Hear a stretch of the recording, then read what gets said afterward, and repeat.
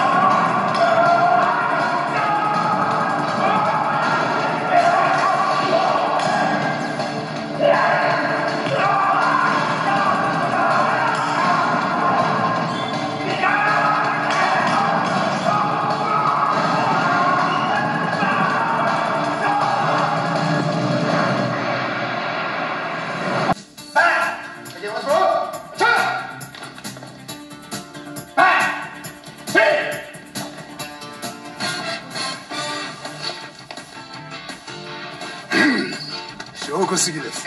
あなたも SKI でチャレンジしてみませんか？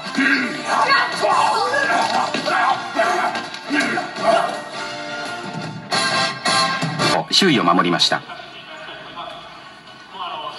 試合後会場では俳優の翔小杉をゲストに迎えてハンドボールの楽しさを知ってもらおうとイベントが行われ子供たちがボールを投げて歓声を上げていました。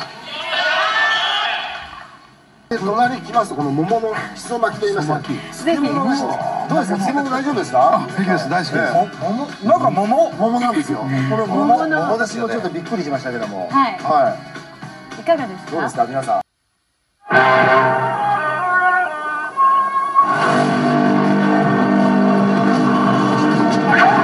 もうこれでもう世の中っていうかアメリカ中忍者ブームになって。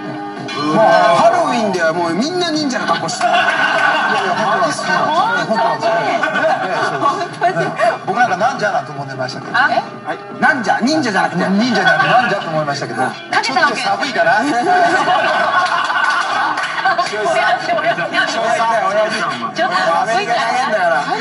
完全に小一に戻ってましたね一に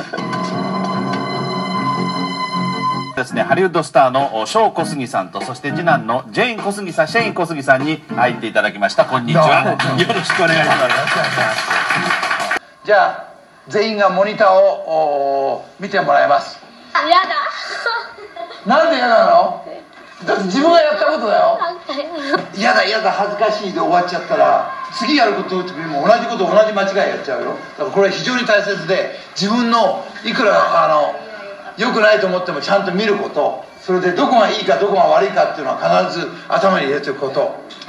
こうちゃんこれでも何もやらないもんね。自分の結果を自分で見てみる。Welcome to 虎ノ門、えー、30分押しで始まりました。3時間の生放送の虎ノ門高見沢俊彦さんの、えーああ後を引き継ぎまして MC を務めます翔小杉ですアメリカでえーテロ事件ということでこの日のイベントでは、翔小杉さんによって、アメリカで起きた同時多発テロで亡くなった多くの犠牲者への祈りの言葉なども語られました。その後、子供たちによるダンスや、ヌンチャクなどを使った迫力のあるショーが行われました。他にも2002年秋公開予定のハムナプトラ3に出演した忍者太鼓チームのデモンストレーションなどもあり、会場を沸かせていました。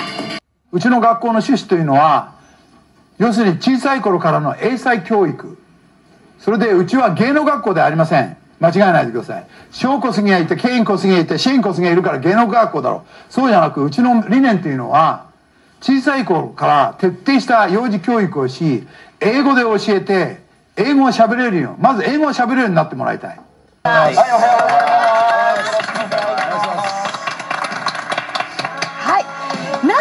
はこのお二人に来ていただいたかと言いますと今まで日本にはなかったえ舞台といいますかショーを今月末から行うということでまずはその練習風景の方からご覧ください。さあこのように皆さんが打ち鳴らしている太鼓はステージで演奏される忍者太鼓です。題して「忍者フロムハリウッド」ストーリーは2つの忍者集団が戦う中道ならぬ恋に落ちる忍者がいます。しかし2人は秘伝の大太鼓を盗むことを企てた忍者に殺されてしまうんです。そこで伝説の神が打ち鳴らす太鼓で2人はまたまた蘇り双方の忍者たちが平和を取り戻すというストーリーなんです。ハリウッドで一番穴場と言われましてもねちょっといろいろ困ったんですけどね。一つあるんですよ。マジックキャッスルという。これレストランなんですけどレストランの中でマジックショーがあるんですよ。これはちょっと日本では見られないと思いますよ。ここでお母さんが久しぶりに帰ってきた息子のために台所に立ちました。肉じゃが味噌汁焼き魚いずれも息子の大好物。これぞおふくろの味。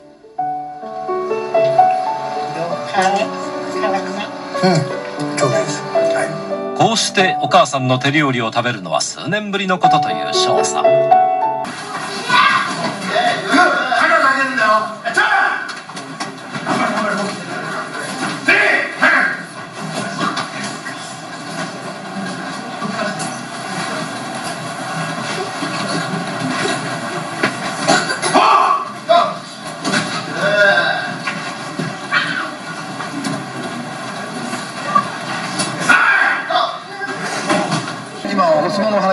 ですけどボブ・サップの話なんですけどアメリカっていうのはあのー彼みたいな強くてまた逆に反面あのコメディでもできるっていうのはすごく高く評価されるんですよ、歌う時に何も裸で歌う必要ないと思う。でも逆にあんだけボブ・サップが強いのにあんだけまたコメディアンとしても OK なんですけどあまりコメディアンやりすぎて本物のボブ・サップを殺されるっていうのはちょっと僕は怖いですね。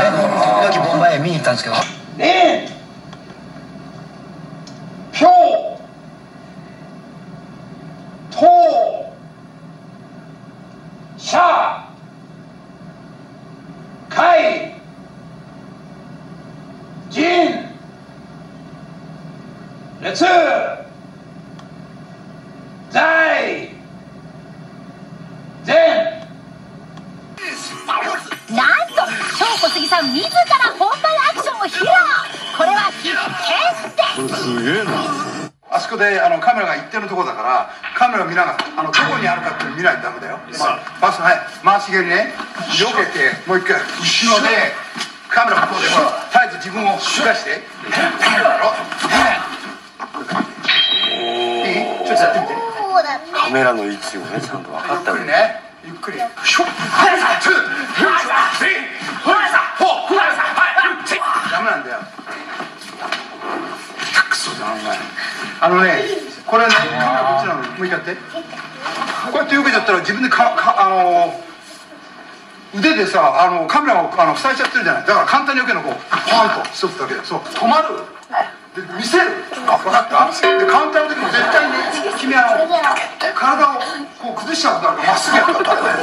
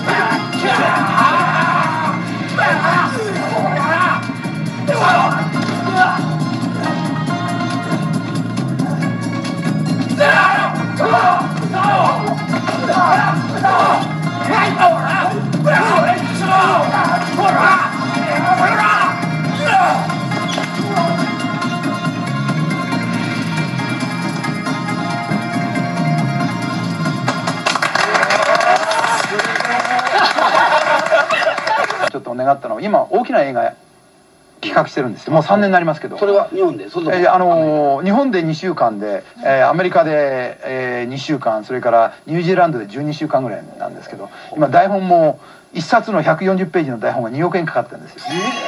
すごいね。これも書いた人がスティーブン・デ・ソーサってあの「ダイ・ハード」1ダイ・ハード2それからあの「48アワー」って48時間それからあの「ベバリーヒルズ・カップ」あの「ベバリーヒルズ・コップね」1に書いた人なんですテレビの前の親子の皆さんもやってみましょう。超小杉必ず役立つアクション術。お願いしま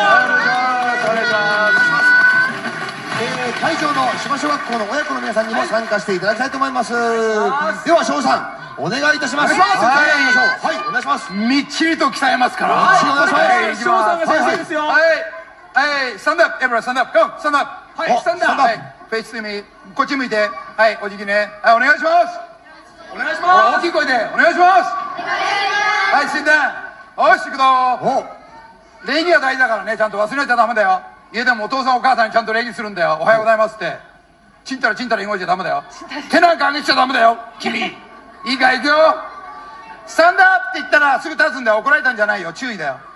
いい？スタンドアップって言ったら早く立つんだよ反射神経だからね Ready? Are you ready? 英語も使っちゃうよ Are you ready? って準備できたかって聞いてんだよ Are you ready? 準備できてなくてもイエスだっていうことね Are you ready? OK ready? アクション東京タワーだ数を数えるぞ自分でけじめっていう人間としてけじめっていうのは大切だと思う義理もけじめもいいよ義理だけじめだヘチマだってね言ってる場合じゃないんだよわかりますかあのねあんたの命の生命力助けたのは剣なんだよこの3年間ね大作界をね剣小杉が背負って出ただから今があってこれからのあなたが花咲く。そして言っていいよって言ったのは他ならぬあんたなんだよ。そうなんですよ。僕なんですあんたなんだよ。そうですちょっと翔さんのねこの持論を伺いましょうか。そうですね。あの今皆さん生活がすごくあ豊かになってるんですよ。で子供今少子化で1人か2人なんですよねいて。そうなると何かあれするとあコンピューターいいよ。あビデオゲームいいよ。全て与えちゃうんですよみんな。もので愛情を変えようと思ったら大間違いであってそれが絶対間違いだと思いますね。うん。どうですか船員さんも。あんま買ってもらえませんでしたか？いや一応買ってくれたんだけど。買ってくれたのかよやっぱりあの条件があるんですよね。やっぱり学校の成績とかああ。なるほど。なんかもうやめやたらに買ってくれたわけじゃないと、い、うことですね。まあ、そもそもどうして海外でここまで忍者が人気となったのか、まあ、そのブームの火付け役となるものがあったんですがえそれがこちら。え日本忍者協議会によりますとブームの火付け役は俳優の翔小杉さんが出演されたこちらの映画だったそうですアメリカの映画「燃えよ忍者」1980年代に大ヒットした映画なんですがこの忍者の格闘シーンがアメリカ人の心を打ったということでここから忍者ブームが広がっていったということなんです